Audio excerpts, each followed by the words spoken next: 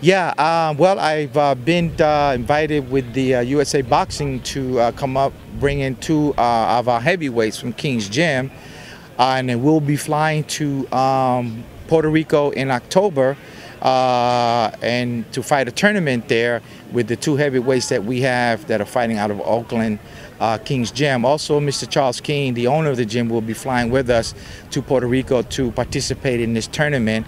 And it's going to be held in the city of Caguas. And by the way, the city in which Miguel Angel Cotto is from.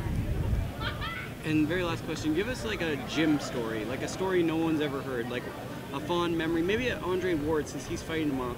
Like, do you remember Andre from back in the day, just something silly, like maybe he struggled jumping rope or just any funny story about anyone really? Uh, let's see. I can't think about anything about Andre, but I could uh, think about back in the day when we had um, uh, George Foreman, who I trained there. Uh, and, nothing funny about George Foreman. All we know is that George Foreman was a hard hitter, and the way he hit the bags at King's Gym was uh, amazing. Um, that's what I can remember uh, uh, a series of uh, what happened at, at, King's Gym.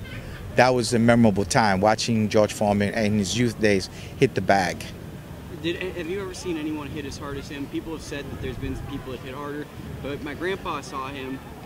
I don't know where, but he said that you, when you hear him, you can't believe anyone hits a bag harder than George Foreman from my experience, I've not heard anybody else that could hit the bag as hard as George Foreman. I think George Foreman is the uh, epitome in, in hitting hard and hitting the bag like, like you're supposed to. But I don't know anyone else that uh, hits as hard as George Foreman.